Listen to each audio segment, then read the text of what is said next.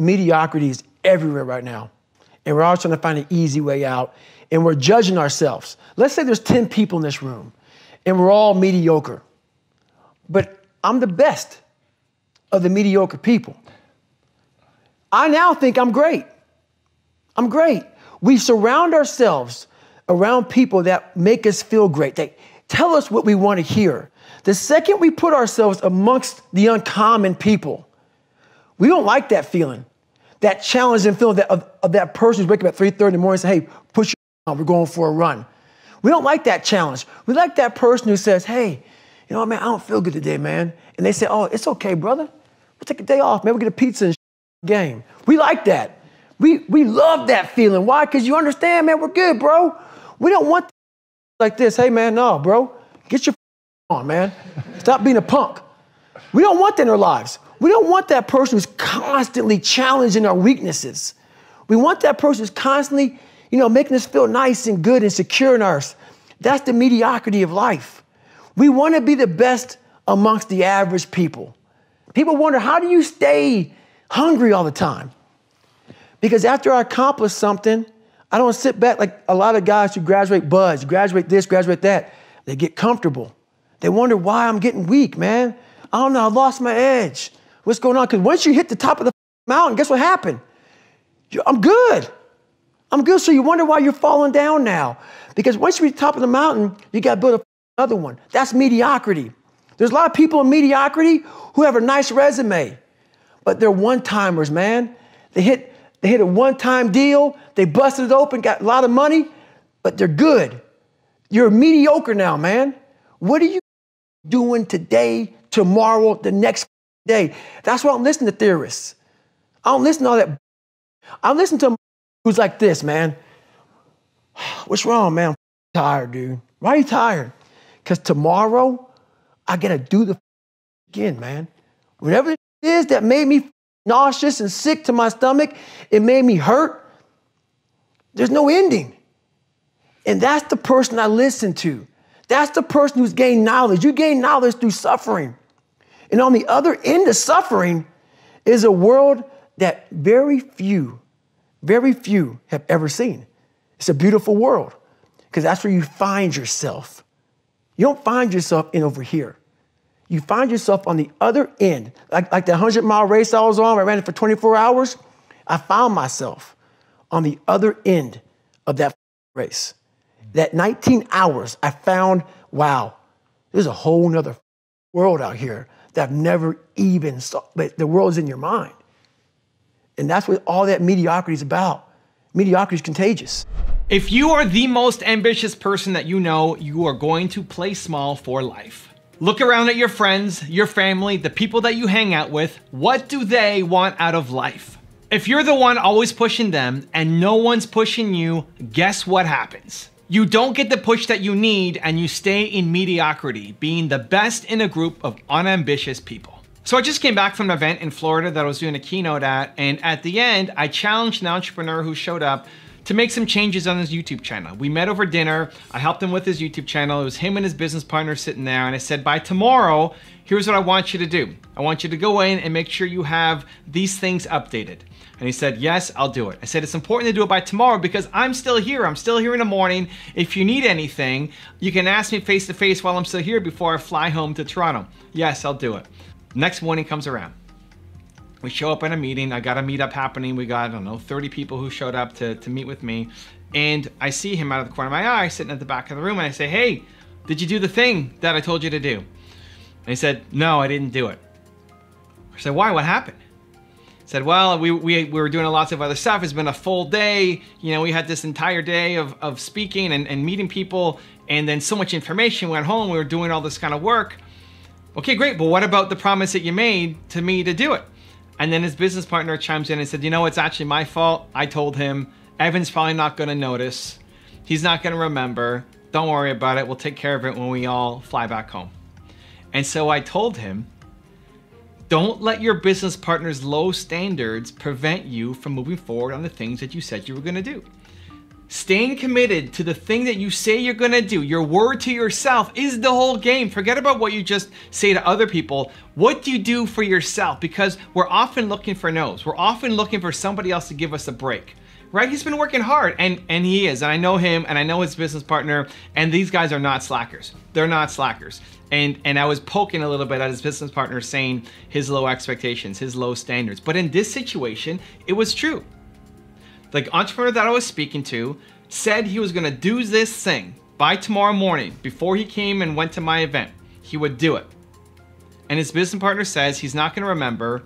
Don't worry, we've worked too hard already. Let it go. We'll do it when we get home. And they would do it when they got home. I know they would. He's looking for the reason not to do it. When you say you wanna hit the gym, when you say you want to hit these business goals, when you say you want to have this outcome and be proud of the effort that you put in every day, when you say that you're going to do something, there will be moments where you want to let yourself off the hook. Where you say, ah, I work so hard, or I'm so tired, or I deserve a break, right? This is the language you use to yourself. And so when that happens, you're looking for affirmations from the people around you. And if you are the most ambitious person in your friend group, if you are the most ambitious person, what's gonna happen? They're gonna say, you already work so hard anyway. What are you talking about? Yes, of course. Give yourself the break. And it's the exact answer that you're looking for because you wanna give yourself a break. Now, if you're proud of your effort, maybe you should take a break. But it's not because somebody with lower standards gave you the pass. It's because you're proud of the effort that you put in. And so this is where it gets really dangerous. When you are the most successful, the most ambitious person from the people around you, they're always gonna give you a reason to play smaller. You can't accept it. You have to push through. You need to change your environment. I'm gonna give you three ways to do it. Step number one is collect good people. I like to say I'm in the business of collecting good people. You wanna collect good people. Somebody that you meet on the on the street, at an event, online, collect them. Find ways to stay in touch. Follow them on Instagram and on YouTube and comment on their stuff. Tell them, sometimes it gets super awkward. I've, I've told people, I really like you. I really love your style. I really like everything you're doing. I just wanna stay in touch. And maybe that means you're just DMing them when you have questions. Maybe that means you're setting something formal up or you're having a coffee meeting every month to connect. Maybe that means you're asking them, you know, business questions whenever you have them. There's a lot of different ways that the relationship can take shape. And this is where a lot of people fall down is you expect to have the answer in your head. And when you don't know what the relationship will look like, you don't go for it because you don't know what to present. You don't know what to pitch. You don't know what to say. And so you say nothing. And that's the worst case scenario. Don't do that. Tell somebody, I love your vibe. I love the energy. How do we stay in touch? And then whatever flows, flows. You have to be in the business of collecting good people. You want good people around you, not just for your team, but people who are your peers, people who can be your mentors. Because when you get that situation, when you say, I promised myself that I would do this tomorrow, I promised myself that before tomorrow morning this would happen, the people around you are saying, dude, what are you doing? Let's go. Not, ah, oh, you work so hard, you deserve a break. No, let's go. You promised yourself you would do it. Come on. They pull you up to be the best version of you. Step number two is get aspirational mentors. I love being around people who've done a lot more than me. This is actually my default. I don't really have people in my life who push me to be better. I don't have too many people around me say, Evan, you really suck at this. Let's go, get better, get better, get better. I get most of mine from aspirational mentors, from, from Steve Jobs and AP Giannini and Howard Schultz and Kanye West, the videos that I put up every single day on my channel. So I had a buddy of mine say, I really love it when you do a David Goggins video. Or another one yesterday said, I really love it when you do Kobe Bryant. Great, if you know that Kobe inspires you or David inspires you, then surround yourself with him, right? Watch their YouTube videos, watch their interviews, have a Google alert that comes at any time it says Kobe Bryant interview or David Goggins interview, you get a notification. Listen to their podcast if they have one. Read their book, listen to their audios, right? As much as possible, be around that because the more you are around that, they're training you to think like they think. They're pulling you up to their level, even if you never meet them.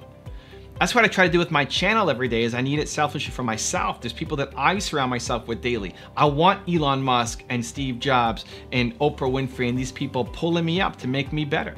So get yourself some aspirational mentors. The people that you look up to and say, man, I wish I could be like them, you can. You just have to think like them. And the way to think like them and act like them and have the mindset of them is to be around them more often. And step number three is have play bigger triggers. I like having triggers in my environment that force me to remind myself of who I am, of who I would like to be, of what I'm becoming. So you can have the greatest day of all time. Maybe you watch this video and you're fired up, you get motivated, say, yes, I'm gonna go and do some work. Awesome. You're gonna wake up tomorrow and be the person who you used to be again. You wake up tomorrow and it's a new day. Every day is a new day. And so you might remember to do something, but chances are you may not.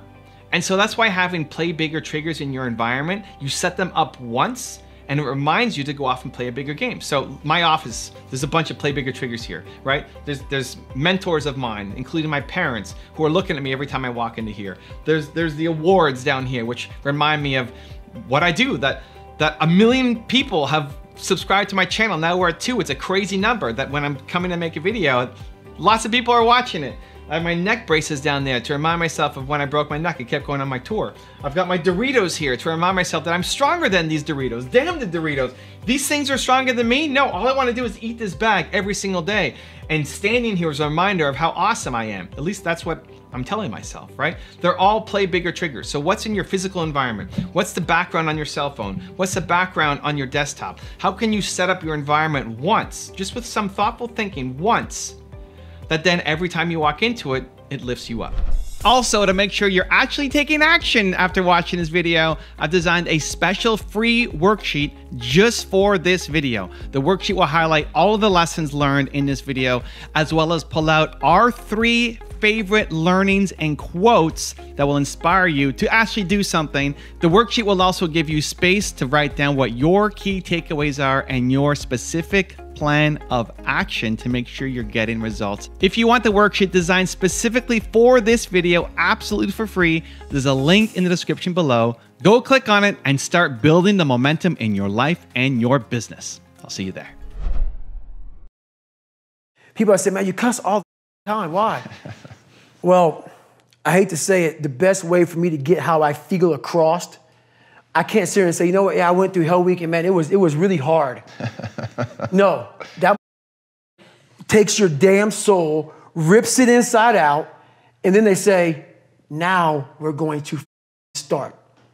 It, it, it allows me to express right. where I was at at a point of my life. Mm. If I don't give you all of me, why the hell am I here? Why, how will you learn from me? People take so much offense to me. You will never learn from people if we always tap dance around the truth. Oh, God, I love that. We so tap dance around the truth by finding the right words so I don't hurt you because you have thin skin. No, tighten up, people. It's okay. Trust me, it's okay. You might be called nigger one day. It's okay. You might be called some Jewish word or some or gay word. It's okay. Let them call you that. What are you going to do now? They don't own your life. How are you going to control that now? How are you going to flip it upside down and say, Roger, that, now I'm going to harness it, and you'll read about me years from now? How? That's the question. How are you going to do that? Thicken your skin, become more of a human being. Don't be afraid of the reflection in the mirror, because that's all you can be afraid of. Once you overcome the reflection in the mirror, you've done it. I love that, man. You once said that if you were growing up in this generation, that you would have a field day because you would take their souls. What did you mean by that? The, the younger generation quits. Not everybody. So I got I got to put that. People get their butt hurt. So not everybody. Most of this generation quits the second they get talked to. You did this wrong. You did this wrong, or, or they get yelled at. It's so easy to, you know, to, to be great nowadays because everybody else is most people are, are weak. This, this is a softened generation. So if you have any mental toughness, any, any ability, if you have any fraction of self discipline, the ability to not want to do it but still do it. People have a, a, hard thing understand. I hate to run. And, and, and, what makes me so crazy, it doesn't anymore, is people go, well, well, why do you run if you hate it? What are you talking about? I don't want to take showers and eat either. I hate that too. The, the whole, that's life, man. That, and and, and, it, it, wasn't until I changed that mentality that I became somebody. Mm. I hated going to school. So guess what? I was dumb. That's what, one plus one is two. But if you can get through to doing things that you hate to do, on the other side is greatness. That's what people understand. By me running, I am callous in my mind. I'm not training for a race. I'm training for life. I'm training for the time when I get that two o'clock in the morning call that my mom is dead or something happens tragic in life. I don't fall apart. I'm training my mind and my body and my spirit so it's all one so I can handle what life is going to throw at me because the life I've lived, it throws a whole bunch at you. And if you're not physically and mentally prepared for that, you're just going to crumble and you're good for nobody. Talk to me about what it takes to be on one side of a door in Iraq or anywhere, knowing on the other side of the door people who are not afraid of you. They're ready for you to come in and you still have, and they have guns, and you still have to breach that door.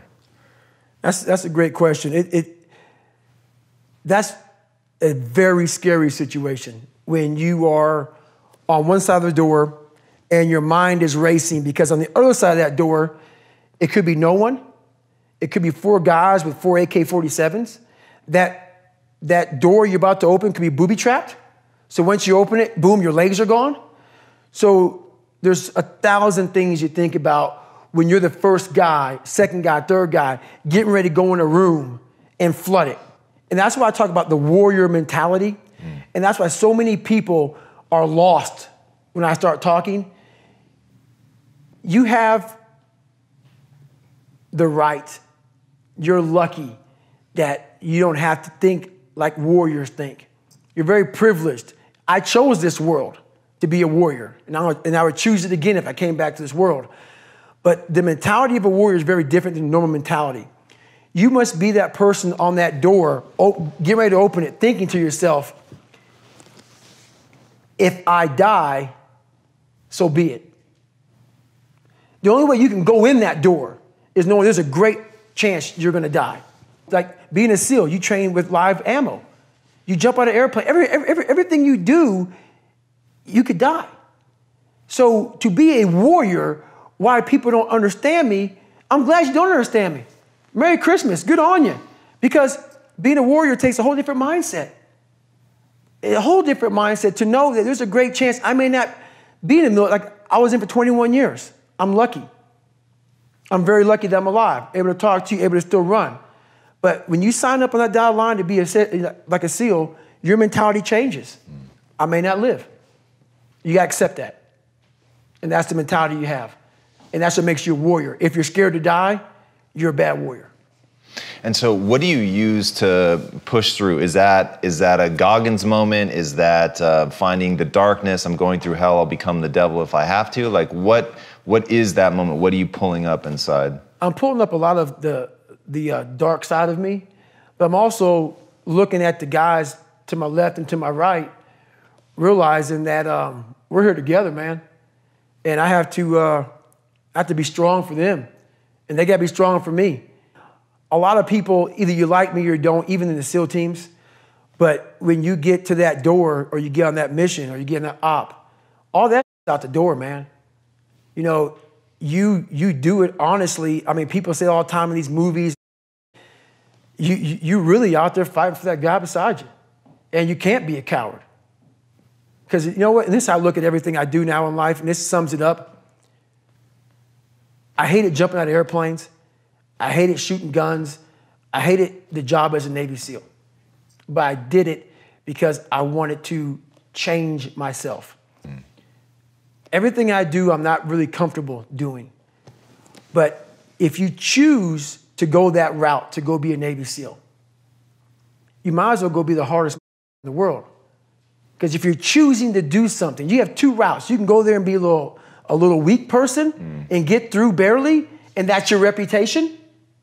Or you can go through the hardest guy you can possibly be, and that's your reputation. So my whole thing is if you're gonna choose to open that door in Iraq or Afghanistan, open them, go in hard. Because they're gonna remember you by slowly opening it and peeking in. So if you're gonna open it and you made the mind to open it, don't crack it open. Mm. Open the door, go in. That's with life. If you're choosing to do, uh, if you're choosing to do something, attack it. Because they're going to remember you as not attacking it. So I want to be remembered. You can hate me, but there's one thing you can't say about me. I didn't attack it. So that's the mentality you have. If you're going to do something, you might as well attack it because you can do it anyway. Right. Do you use that in civilian life? Like, do you still employ the I'm going to attack it, I'm going to take their souls? Like, how does that play out in a non um, combat zone? It still works for me in, in life as far as attacking things because uh, no matter what I want to, you know, no matter what avenue I choose, I want to be the very best. And the very best may not be I'm number one. The very best is did I leave everything inside of me out there? So attacking is not like, oh, I want to win this or win that or be the best. The best is I'm, I'm, I'm running against myself and everything I do. And, and, that's, and that's what I attack. I attack myself. I'm always questioning myself. I'm always holding myself accountable. So many people, before I give them a workout plan, they're talking about recovery. Everybody, everybody that hears me speak, they want to go straight to recovery. Work out first. Huh. Work out first before you talk to me about recovery. How to recover, yeah. Work out first. We are always looking for, like, whenever I talk to people, people take my words and they and they and they put it in a way to where they want to feel comfortable. This guy, you know, they they they want to put you in a box. They want to put a title on you. No, you're putting a title on me to make yourself feel better about yourself. If you read this book of mine and you see where I came from, this person was this, this person was not built. This, this, this person was not made by God. Mm-hmm. This person, sorry, this person was built. I made this person. I made this person by diving into the insecurities that life gave me. Because now they're yours. They're yours to own. If you're not smart, call yourself dumb. It's okay, because you are. But take that not as you putting yourself down. If you're fat, call yourself fat. I used to be 300 pounds. Mm. We, we want to talk so soft to ourselves. We're looking for that recovery day. And that recovery day is everything in your life. Everything in your life is a recovery day. We're looking for it. It's not coming. It's not coming. Mm-hmm. Get over that recovery day. And that's the mentality I took with me. And what happened through that process was all the frivolous things of life started to float away. I used to tell people lies so they would like me. Hmm. Because I was so insecure. When you start to build yourself up, and start to have the one thing that we don't have is confidence. Yep. Real, authentic confidence from hard work. Everything else goes away. You, you no longer look to other people for your self esteem. validation. That's right. For, yeah. You now know. I walk in a room now and I know the hours and years and decades I put into David Goggins. That's something, it's not on the wall. It's not a trophy on the wall. It's not a medal around your neck. It is actually a feeling in your heart. And people go, why don't you ever smile? I don't have to. Yeah. Yeah, I do have a stoic look on my face. I'm a, I'm a very focused person. But the feeling I have in my soul and in my heart, that's why I don't need to smile. I don't need to smile. I don't need you to look at me and say, oh my God, you look happy. Because half of us aren't happy. Mm-hmm. We're, we're giving you something that we think you want to see. I don't do that anymore. I don't care how you perceive David Goggins. Because through my journey, I figured out the one piece I was missing. I thought it was cars. I thought it was women. I thought it was I thought it Money. was money. I thought it was everything. The one piece I was missing was me having the courage to face myself. Hmm. One big thing is the accountability mirror. you have to start with yourself. So what happened in, in my life was we start to get, I call it like the rucksack. A rucksack is a pack that you carry in the military and you put all your stuff in it. Your radios, your food, your water, all that stuff you have to carry in the military. That's your rucksack. It's a backpack pretty much. As you're growing up, we all have a backpack. Most of ours, hopefully, is empty, you know, and what we put in it is all the crap we go through in life. That's what is in the backpack for the civilians, and we carry it around with us. So, what you have to start doing is realizing that no matter where you're at in life, I got called nigger a lot. My dad abused me, you know, learning disability, stutters, immaturity, insecurities, self doubt, so much crap on top of me. So much stuff. I lied a lot to create friends. So people, so much stuff was in my backpack. No one's coming back to help me. So it starts with that person in that mirror. You have to realize you are on your own now. And whatever else you believe in, I don't care what you believe in, but on earth, it's a very lonely journey. And it starts with the accountability mirror of looking at saying, hey, my dad who beat the hell out of me is not coming back. All these things are coming back. I have to face myself. And you have to own all those things that people may have done to you. Now it's yours. You got to own it. And it's yours now to fix the problems that people did to you. It makes no sense. It's not fair. I get it.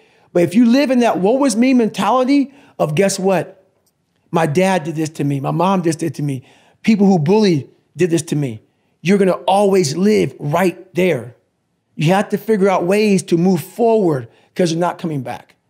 And it starts with the mirror. And I call it the accountability mirror in the book. My biggest advice to give everybody in the world is like I say, we live in an external world. Everything is, is you got to see it, touch it, it's, it's, it's external. If you can, for the rest of your life, live inside of yourself, stop listening to people who are calling you fat, gay, transsexual, nigger. Everything that is makes no sense. All these insecure people putting their insecurities on you, you got to flush it out. You got to just be whoever the hell God or whatever the hell you believe in. If you believe in nothing but yourself, I don't care what it is. You got to take everything and throw it away. You have to believe in one thing, and that is yourself. And, and I'm not saying don't believe in God or what you believe in, but right now, for you to find greatness in yourself, you're not going to find it by looking in a book or by even hearing me. I may give you the spark, but you've got to go inside yourself to find it. And that means you got to be quiet. Shut up, go in a room, stop talking, search your soul, search your mind, search your abilities, and you'll find it. But if you're not looking for it, you won't find it. So you got to go start your journey. And the journey starts with you finding why the hell am I here on this planet Earth? Why am I here? And if you don't know that, you will live the rest of your life searching, always asking the question, why? With your learning disability, with your dad beating you, screaming at you, emotionally challenging your mind, with uh, the racism you dealt with, with um, the different struggles you felt, with bullies, what was the, ch- the hardest obstacle to overcome from up until about 15, 16? The hardest obstacle was myself. Hmm. I started realizing more and more and more that all these people were gone. What was haunting me was me. I can't control my dad. I can't control the people calling me nigger. I can't control all these things. But they were things that kept me down. It started becoming my reality. My reality was what they made it out to be. And I became my own the most important conversation you'll ever have with your life, you know, in your life is when you have yourself. Mm-hmm. And my conversation was absolutely horrifying. What were you saying to yourself?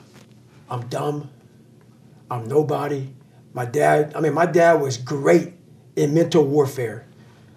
A drunk, insecure man hmm. Will make everybody around him feel like hell Yeah. because he wants to give you no power. And that's why he was so mean to my mom and myself and my brother because he didn't want anybody to get above him. Mm-hmm. He wanted to keep you down low. So when you're growing up with all of this stuff, all this hate, and it, it wasn't the beatings. I could take the beatings all day. It was the mental torture. So when at a young age, your your parents put a dialogue in you of confidence or you're nobody. Mm. So that voice in my head was I'm a loser. And then it was confirmed when I got in school. And in third grade, I was falling behind. They want to put me in a, in a special school, Yeah. you know, with kids who can't learn. Right. Then it was confirmed what you know what my dad was saying. So that confirmed it. Then I started cheating. So I started realizing, you know what? I'm taking Yeah. the easy way out again. Yeah. And it started snowballing from there. Now, now the kids are calling me nigger. Mm. But it wasn't all the kids. So what happens is you start to get this picture that everybody hates you because your reality becomes so so big mm-hmm. that you don't. You, I mean, you can't see the clear picture. It might have been three or four That's kids it. doing it over and over. Right, but it was the whole town. Yeah, yeah. Everybody hated me.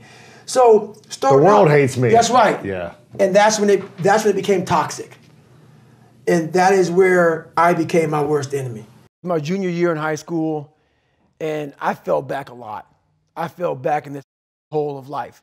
The second you think that you've overcome it and you climbed Everest, you're on that last hold, and life will say, "Not today," and it'll push you down.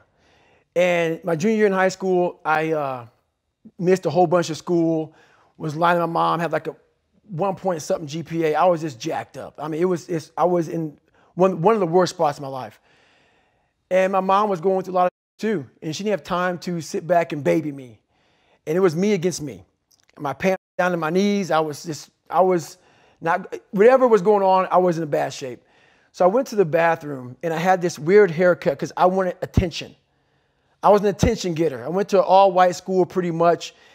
Um, some of the kids liked me, a lot of them didn't like me, whatever. I was looking for something. So I would dress differently, crazy haircuts, and I went to the mirror and the reflection in it revealed a lot of bad things. A lot of things that I was hiding behind the saggy pants. And I'm looking at myself in the mirror going like, God, dog, dude, you got you are something else, man. Like you have created a character. I want to be at the cool guy table. And whatever I could do to, to, to get attention, I did. It wasn't me. It wasn't who I was inside. But I was scared for anybody to know who I was inside. So in that accountability mirror, I call it, I got real with myself. I said, you have a, a third grade reading level, which is hard to admit when you're a junior in high school that you copied on every single thing you did because of fear they're going to put me in a special school. We all know what special means. I'm going to have a, a, title on myself the rest of my life. And being cool, you don't have a title on yourself. So I started cheating. I was dumb. And people say, oh, you know, you have a learning disability. I had a learning disability, but I realized I was lazy. So um, I called myself out there. I called myself out every which way possible. I didn't call myself out, I was just honest. I was honest. Look at yourself, man. Look at yourself. And it was that day, in a couple of days after that, I just got real with myself. And every day I came home, I called the accountability mirror. What am I going to do today to change what I see in this mirror? What am I going to do today? And a lot of it was I stopped sitting with the cool guys. I actually tucked my shirt in and went to school looking like, hey, man, this is how I'm going to look. If you don't like it, so be it. I had to really wear this, this, this layer of skin. I had to develop a really calloused skin on me to, to take whatever you're going to call me, you're going to call me. Whatever I'm going to be, you know, I want a geek, but whoever I am, you're going to see me. You're going to see me for who I am because I need to change who I'm not. And that accountability mirror just became raw. And when I became fat over the years, because I fell back in the hole, I called myself fat because I was fat. And people don't want to do that. They want to say, oh, don't call yourself fat. Don't call yourself dumb. If you're not real and raw with who you are, nothing's going to change. And in this nice new world that we live in, we want to hear, you're just a little big. No, man, you might be fat. And it's okay to hear that from yourself and from everybody else. So that's where it started at and it's raw. It, it gets ugly sometimes with me in that mirror. But I'm also proud of myself to be able to tell myself that and then fix what's in that mirror. SEAL training became pretty hard, and a lot of guys weren't getting through it. So they designed a SEAL PEP prep program. Hmm. Like a boot camp for the boot camp. That's right. Yeah. And it was two months. In my last two years before I retired from the military, they sent me there to train these kids. Wow. To get ready for 18, BUD/S. 19, yeah, 20 year olds, yeah. Young kids. So when they get to Navy SEAL training, man, they were physical studs. They were running, swimming. I mean, they were they were hybrids. Wow. But they get to BUD/S, and the same amount of people would quit. Why is that? This is why. We were training bigger, stronger, faster quitters. Hmm. It's not about. Not the mind. That's right. We weren't diving into the sewer. Everybody's got a story. We don't share it on social media. We share our nice life on social media. We have we all have a dungeon. I'm just willing to talk about mine. Yeah. Most of us aren't willing to talk about it. I'm want to talk about my dungeon. I wasn't getting into the dungeon of these guys' minds. I wasn't building that so-called mental toughness. Mental toughness isn't something that you sample. It's something that you live in every day. So when something hard would happen to these kids, like in Hell Week, it would draw on something that made them very insecure. And they look for comfort. Whenever hardness comes, and you don't know what it is, it may be different for you than it is for me, mm-hmm. but you go back to your insecurities. And then when you go back to your insecurities, you then look for comfort within those insecurities. And we all look for that cookie that your mom used to give you Right. when you were sad, Yeah. when you were sick. We look for our wife or our husband. We look for comfort. It's in those moments you must retrain your mind mm. to think differently in hell. I wasn't training them to do that. Why weren't you training? I wasn't training myself yet because at that time, I was doing what I was told. Mm. These guys need to meet a standard, Physical standard. a physical standard. the physical standard is not what they need to meet. It's a mental standard you must meet in life. We live in a world now that's so kind. We we find the kind way around everything. Like if you don't look good, I have to find a kind way of saying I don't like your shirt. Right. That's not the approach.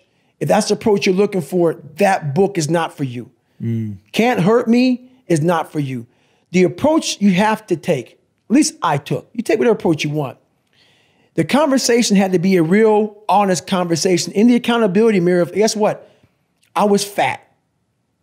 Don't find a kind word to say that, you know what, I've gained some weight. No, you're fat. When I couldn't read, not like, hey, you know, you have a learning disability. No, I cannot read. Have a fourth grade reading level. I'm struggling. And sometimes I call myself stupid, not in a way to put myself down. So don't take it like, my God, those are so hurtful. Yeah, they're hurtful, dishonest. The conversation has to become an honest conversation of where you're at mentally. Where am I at mentally? I look like, I feel like I'm not this, I'm, I'm falling behind in school. I'm lazy. My house is a mess. You have to look at what it is and call it what it is.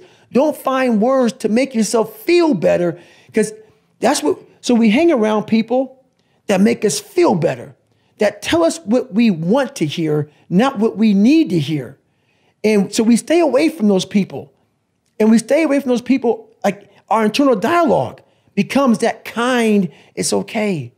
It's not okay.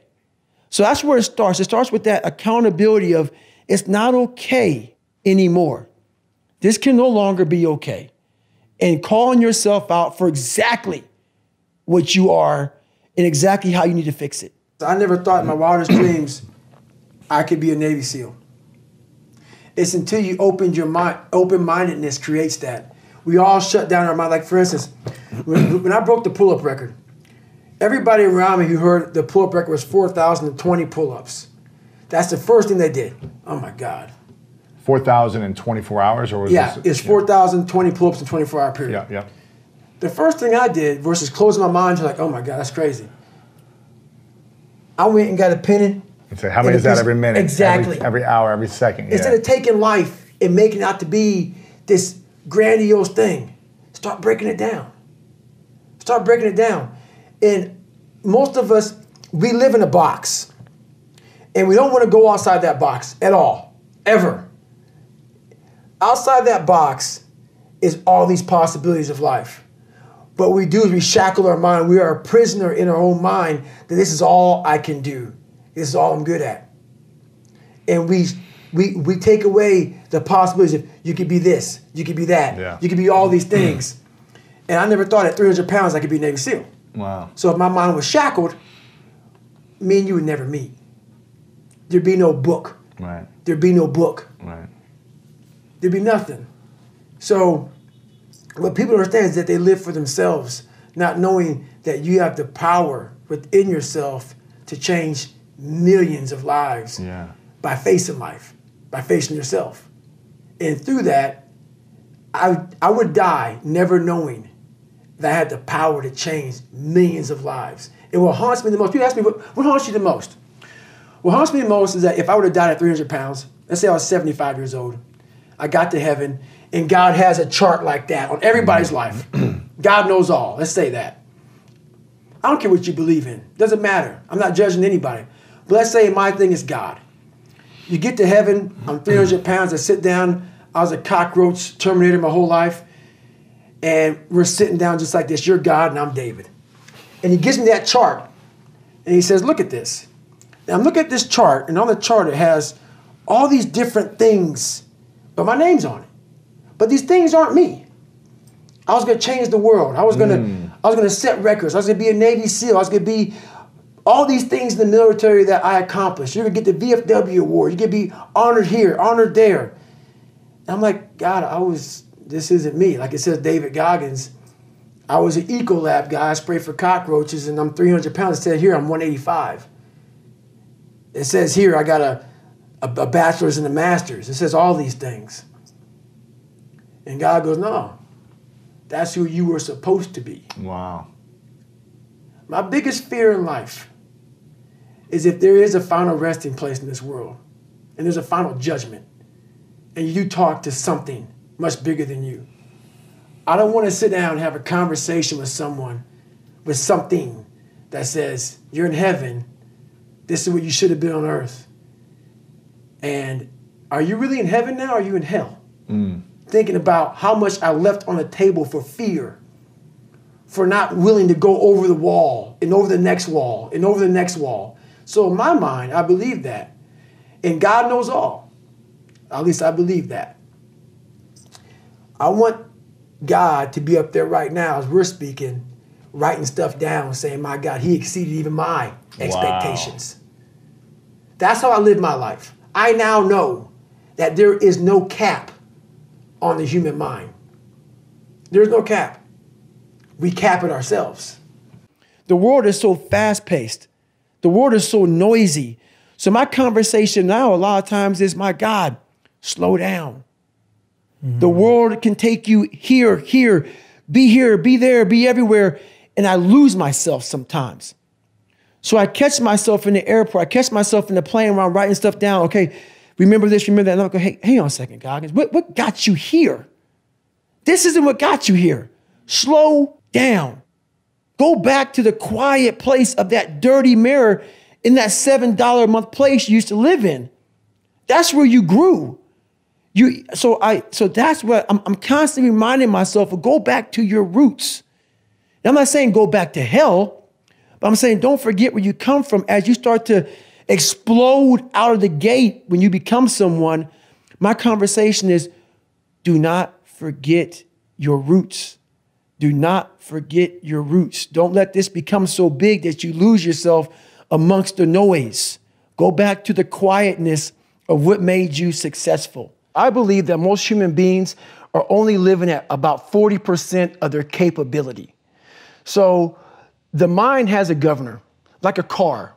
If you're driving a car and the car has a governor on it, the car may say 130 miles an hour, but the governor set for 91. Once that governor sets in, you get to 91, that car starts doing this. The car wants to go. The car wants to go, but that factory said, uh uh-uh, uh, we are not going past 91. We have a factory, a nice governor in our brain, and it's a survival mechanism. It protects us from pain and suffering. The second we feel that, our mind says, oh no, this isn't fun. We should back off. We should sit down, find something more comfortable. And there's something about the mind. The mind has the tactical advantage over you at all times. At all times of your life, the mind has a tactical advantage over you. Why is that? It knows what you're afraid of. It knows your insecurities. It knows your deep, dark lies. And it starts to push you away from that. It pushes you in a direction that is comfortable. The mind controls everything. So what I realized was that when I was growing up and I was 300 pounds and I got all fat and I got all insecure, I realized that my mind kept taking me in this direction. When things got uncomfortable for me, when I was facing my insecurities, I was facing my fears, my mind said, oh no, we have the tactical advantage. We need to get you, separate you from this feeling. This feeling over here, life's all about feelings. We want the happy feeling. We don't want that feeling of this sucks. Why am I here? And you don't have any, so, so you can't answer those questions, so you leave. I started realizing that if in that moment you can answer those questions and you are now in charge of your brain versus your brain ruling you, that's where all that stuff comes from. So, so, so the 40% rule is all of that. You get to 40%, your brain says, We're done. Let's roll, man. This is starting to get painful. This is uncomfortable. So you sit down. You have to figure out ways, and everybody's different. That's how the book kind of talks about. Like, we all have these things about, you know, five steps to this and, and four steps to this. It's, it's a lot more than that. That's all. It's, it's a practice that you have to, it's a habit So if you know that at 40%, I'm still, you know, I'm feeling pain. At 40%, I'm feeling pain. That's where the 40% rule kicks in. Now it starts. Okay, I'm, I'm feeling pain. My mind's saying all this to me. It's saying, get out of here, run, flee. The fight or flight kicks in. Okay, we're done. We're not good enough. It starts telling you all these things. You start to believe it because the mind controls all. This is the time where you have to gain control back of your mind. It's okay, let me see if I can go 45%. And once you start giving yourself more and more hope and start realizing, okay, the mind starts to be, okay, wh- what are you doing? We're supposed to be going right and you're going left. You start then controlling your mind. Start finding more in, you know, in yourself. And then it goes from 40% to a lot further than that. But that's the start of it though. Get to, get to the spot where your mind is saying stop. Wherever that is, you gotta get there first. And then that's when that starts to work for you. You gotta control yourself in that moment. What was the greatest lesson your mom taught you growing up? Honestly, the greatest lesson she ever taught me is a lesson that she she doesn't know how much she taught me because she wasn't much in the teaching mode. My dad took her soul. Mm. But what I did as a young kid is I observed everybody. I wasn't really smart in the books, yeah. but I was real smart when it came to life. Yeah. And I was able to sit back and watch her mistakes. I was able to see how she struggled through life and how I don't want to struggle through life. And I was able to see she never picked me up. The biggest thing she did for me, and this is honest to God truth, and she doesn't even know she did it. when I would bust my ass, when I would fail, yeah. when I was at the bottom of the sewer, she never picked me up. She never gave me that cookie and said, "Hey, son, you know it's, it's gonna good, be okay." Yeah. Never, she didn't have time for that. And sometimes she gets upset when I talk about my past because it, it, it paints her out to be not the best mom. If I had any kind of mom in that kind of environment, I would have never made it. Mm. Because she forced me, for every reason, she forced me to you better figure this out or you're going to be a statistic. Wow. And this is something that she didn't sit down and tell me. I realized this. This is the world that is in front of me. And what most people do is they see this world and they look at it as an excuse to get out of it. Yeah. I started looking at it as this is the ultimate training ground for the rest of my life. Mm-hmm. I have all these valuable lessons because if you look out in the world right now today, it's not a nice place but I'm very prepared for it. Yeah, you are. I'm prepared for it. I'm prepared for all the failure coming my way. I'm prepared for everything my way. And that's the biggest lesson that she taught me by not teaching me, mm. by never saying it's going to be okay. Yeah. Matter of fact, she told me the exact opposite. Life sucks. When you really sit back at your life and you are in that dark room and you're looking at where you started from and you tell yourself, ah, dog, man, my, my mom is this way. My soon stepdad got murdered. My dad beat the shit out of me. I can't read and write to save my soul. I've lied about it to everybody. I've cheated on all these tests. My God, man. And then you put a goal in your mind. How are you going to feel, man, when you accomplish this goal coming from that? A lot of people start from a good starting point. They have a good foundation. What if you can surpass all of these if everybody who was way up here started up here, and you had you started with no legs, you had to grow legs to even start walking, and then crawling, and then running, and then you start passing people with all this given to them. I had to use all this negative that was making me weak and horrible as a person. I had to use this as the power that now fueled me. I had to flip it on its head and say, hold up. This might be exactly what I need. The darkness is exactly what I need. It's how you look at your situation. And I was looking at it all. In the book, you tell people to make a list mm-hmm. of everything working against them, every real, valid excuse. Right. Why do you have them do that? There's a lot of power in that list. So, in that list of who you are, what makes you, all these other things, it goes back to once again accepting you have to first accept it before you can fix it. A lot of people walk around, oh man, I'm good. I'm good. No, you're not. You have to accept what you're not. You have to, and people don't want to do that. That's the only way you can fix it. You have to accept it first before you can go on the journey. A lot of folks never even start the journey, man. They never start the journey because they're living this fake life that who they want to be, they act like they are, but they're not because they haven't fixed all this stuff yet. You got to fix this first before we can start our journey in life. So that's why I have them make this list. You fix these problems, now your journey can begin because you no longer care about how people are judging you. When, when you care more about how someone's judging you, you're going to stay right there. There's no forward momentum.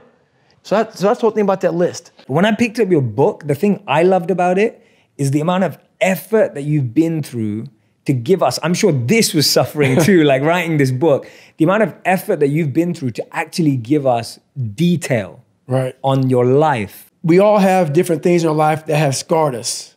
We want to act like those scars don't exist. So those scars, like, you know, if you go out and you get cut, that scar is going to be there on your arm. You can go down and look at that cut and say, oh, or, or, or that scar and say, oh, that happened from, you know, I was in the kitchen or what happened. We have the same thing on our brain. I have all these scars on my brain from growing up, from, you know, being abused, from suffering through life, from having a learning disability, from stuttering, from having a, just a really bad childhood. And so all those memories, I had to cut open that scar and go into it. And that was a hard process for me to do. Not only was that a hard process for me to do, for me to have the courage to share that with people, you know, because I'm the so-called toughest man on the planet. So they think. So for me to break open that shell and, and tell people, hey, that wasn't always me. You know, it's, it's, it's hard to do, you know, it's hard to do. So it was, it was, a, it was a tough process. Throughout this journey, I started becoming this new person. Mm. I started creating this new person. People started seeing me as this amazing superhero. In the back of my mind, I knew the real story. And I was like, man, one day you have to really share it. I'm like, man, but do you have the courage? You know, like, it's great to live right here. I've established this. People think you're great. Just stay here. Don't go back. Let's not go back. But the only way you can help people out is let them know that this is possible. So I had to go back and say, this is where I come from. Yeah. And where I come from is hell. A lot of people can live with themselves, look in the mirror, and say, I'm okay with being afraid.